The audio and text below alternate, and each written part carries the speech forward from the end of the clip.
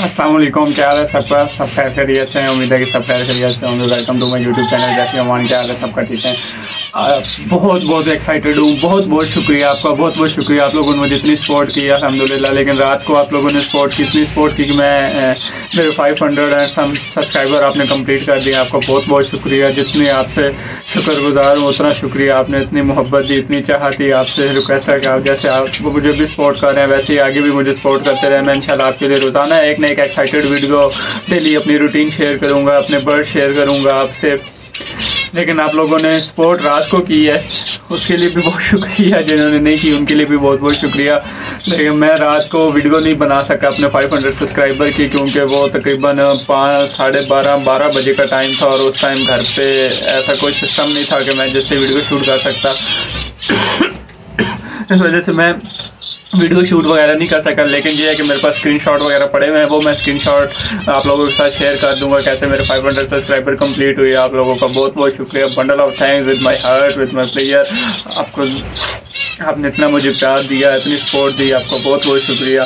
आज अलहमदिल्ला हमारे पास मौसम काफ़ी खुशगवार है, रात पूरी बारिश होती रही है, अभी भी बारिश हो रही है। अलहमदिल्ला मेरे सारे परिंदे अच्छी खुशी, खेल कूद रहे हैं। ये देखें, अभी मेरी जावा उड़ रही है, घूम फिर रही है। ये देखें, कितने हेल्दी एक्टिव और आज टेम्परेचर भी माशाल्लाह 23 हुआ हुआ है।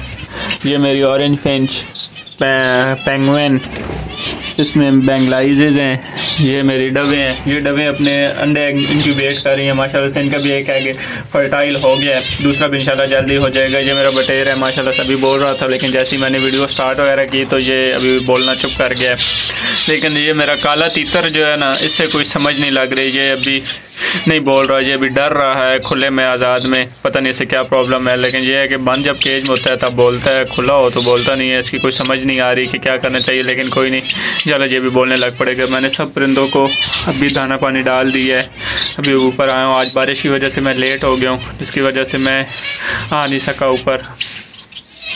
और इन्हें दाना पानी लेट हो गया। तो ये आज अलहमदिल्ला माशाल्लाह से मेरे सारे परिंदे बहुत अच्छे से हैं हेल्दी हैं एक्टिव हैं। गर्मी कम हो गई है, जिस वजह से ये अभी चाय चढ़ा रहे हैं, मैं खा रहे हैं। ये इसकी समझ नहीं आ रही, इस डब को क्या प्रॉब्लम है? ये इधर आके बैठ जाती है। इसकी कोई समझ नहीं लग रही मुझे कि ये चाह क्या रही है और क्या करना चाह रही है मेरे साथ। ये देखे मेरा काला तीतर उधर से निकल आया, इधर घूम फिर रहा है इन्जॉय मार रहा है। शुक्र है, चलें, घूम फिर तो रहा है ना एक जगह से तो निकला है, ना इधर आगे निकला है। आया है। तो अभी ये केज में चला गया है अपने में। उसका भी दरवाज़ा मैंने ओपन ही ऐसे ही छोड़ा हुआ है, ताकि ये आज़ाद घूमता फिरता रहे। अभी जाते हैं बाहर बाहर की सूरत हाल आपको दिखाते हैं, बाहर का मंज़र आपको दिखाते हैं। बहुत रोमांटिक हुआ हुआ है, बहुत प्यारा मौसम हुआ हुआ है। ठीक है, आपका फिर बहुत बहुत शुक्रिया। मेरी वीडियोस को आप अच्छे से वॉच किया करें। आप बहुत कम वीडियोस वॉच करते हैं, कोई एक मिनट कोई दो मिनट की वॉच करता है, लेकिन ऐसे ना किया करें। बहुत प्यारा मौसम।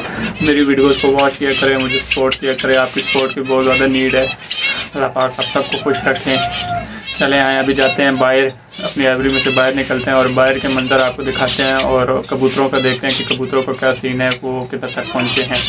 कल जो आपको दिखाए थे, उनमें से क्या अंडे, बच्चों में से कोई चीज़ निकली है या नहीं निकला, कोई एग फर्टाइल ओके इसमें से किसी में से बच्चा निकला है या नहीं निकला। चले, आए, जाते हैं, वो देखते हैं, अभी बाहर जाते हैं।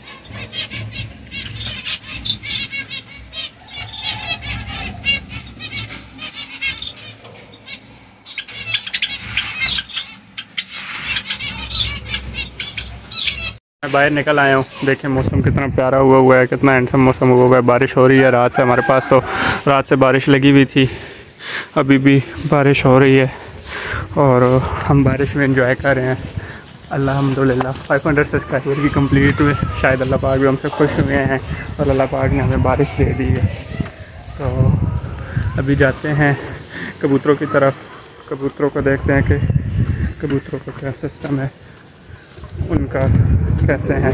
ये देखें, ये भी बाहर यहाँ से घूम फिर रहे हैं एंजॉय कर रहे हैं अपने बाहर बस्ती में, बाहर निकले हुए हैं, बारिश में एंजॉय कर रहे हैं। अभी ये बच्चों के अंदर भी देखते हैं कि अंदर का सूरत हाल क्या है।